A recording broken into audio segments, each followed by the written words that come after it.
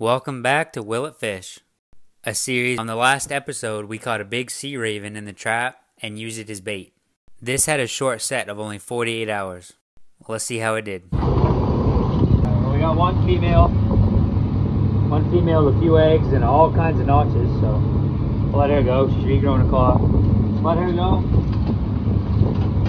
Got a little female, short, too small. Another short. Woo! One good one.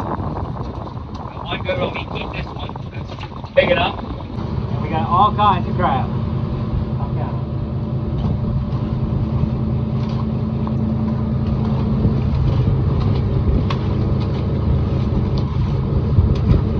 Fourteen crabs is I think. It really doesn't look like they touched it. Out of it, I'm to push it back over and give it a few more days